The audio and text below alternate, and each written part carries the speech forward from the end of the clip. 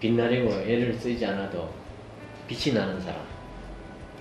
그러니까 아주 화려한 화장을 하지 않아도 눈부신 아름다운 사람. 뭐 그런 사람들 속에 한번 곱살이 끼고 싶어가지고 어, 작은 제 마음을 담았습니다.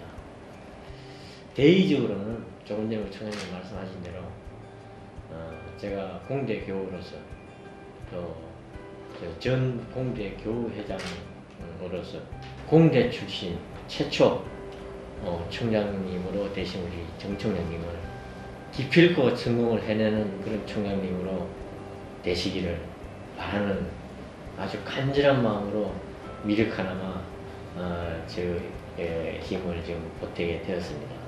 그래서 전적으로 우리 총장님에게 에, 고려대학교 발전기금으로 그런 의미에서 맡기는 거고 제가 또 이렇게 함으로써 이 사만 어, 공대 교우들이 에, 이게 계기가 돼가지고 제가 계기 돼가지고 마음 느끼는 교우들이 십시일반 어, 많은 발전기금이라든가 목요를 위한 어, 일을 해줬으면 하는 바람으로 오늘 우선 제가 스타트를 한번 끊어봤습니다.